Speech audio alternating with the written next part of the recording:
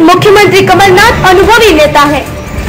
Commerce minister भी रह चुके हैं और इन्वेस्टरों से उनके संबंध भी अच्छे हैं। इस बात से कह सकते हैं कि निश्चित तौर पर इन्वेस्टर समिट के बाद प्रदेश में तरक्की होगी। यह बात इंदौर में पूर्व मुख्यमंत्री दिग्विजय सिंह ने कही।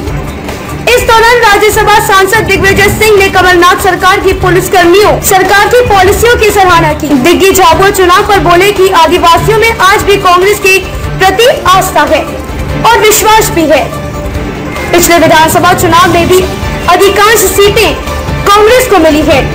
वहीं शिवराज सिंह के समय हुए घोटालों पर कहा कि इनके कई प्रकरण सामने आ रहे हैं। पता चलेगा किसने किसने प्रदेश को नोचा है और जल्द ही कई नाम भी सामने आएँगे। दिग्गी बोले कि भ्रष्ट अधिकारियों पर शिकंजा कसने की बात कही है। पूर्व सीएम और कांग्रेस के वरिष्ठ नेता सिंह ने गोपाल भार्गव के पिछले समिट के बयान पर पलटवार करते हुए कहा कि अच्छा है उन्होंने स्वीकार कर लिया कि उनके समय प्रदेश में इन्वेस्टरों ने पैसा नहीं लगाया। दिग्विजय सिंह ने कहा, अपनी शैली में पत्रकारों के सवालों के बेबाकी के साथ जवाब दिए। परिवारवाद जहाँ तक सवाल है, वो हर पॉलिटिकल पार्टी में है। कौन सी पॉलिटिकल पार्टी में नहीं है? और अब तो क्रिकेट कंट्रोल बोर्ड में भी आ गया है। तो इसलिए तो ये आरोप उनका सही नहीं है।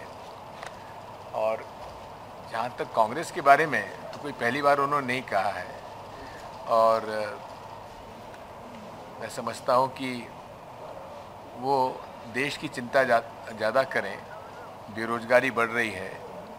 एमटीएनएल के लोगों को तनख्वाह दो महीने से नहीं मिल रही है। बीएसएनएल के तीन महीने से, चार महीने से तनख्वाह नहीं मिल रही है। लोग बेरोजगार हो रहे हैं, उस पर विचार करें, उस पर ध्यान दें, बाकी सब चीज़ें छोड़ें। सर, राम मंदिर का आज अंतिम सुनवाई थी।